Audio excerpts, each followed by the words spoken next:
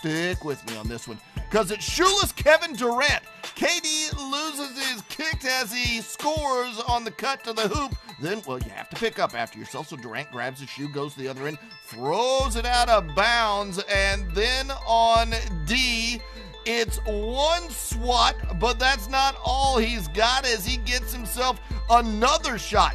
Kevin Durant getting it done on defense in this game, and he is in at number six on the